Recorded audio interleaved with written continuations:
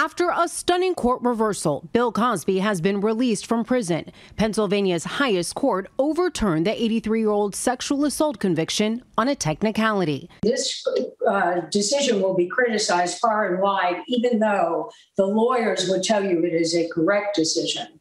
He was not found not guilty. He was not now innocent. The High Court took a look without passion, without emotion, and it looked at the facts and it looked at the law. Cosby was convicted in 2018 of drugging and molesting Temple University employee Andrea Constand at his suburban Philadelphia estate in 2004.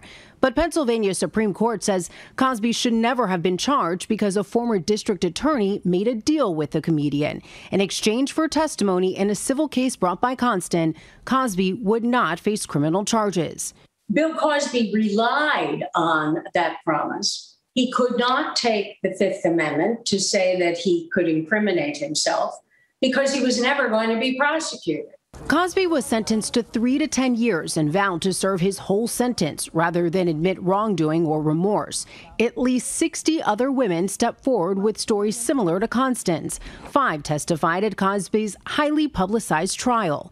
The High Court said allowing that additional testimony tainted the jury, despite a lower court ruling that it was appropriate to show a pattern of abuse. Bill Cosby will be forever tarnished with the fact that he was found guilty by a jury of three counts of sexual assault against Andrea Constand.